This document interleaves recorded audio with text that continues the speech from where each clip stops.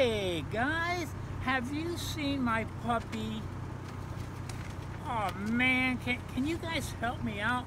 Help me look for her? Uh, uh, I'm really worried. Oh, she's white and she has black spots. Is she a Dalmatian? Why, yes, yes, she is. And she's really smart, too. Do you know him? No.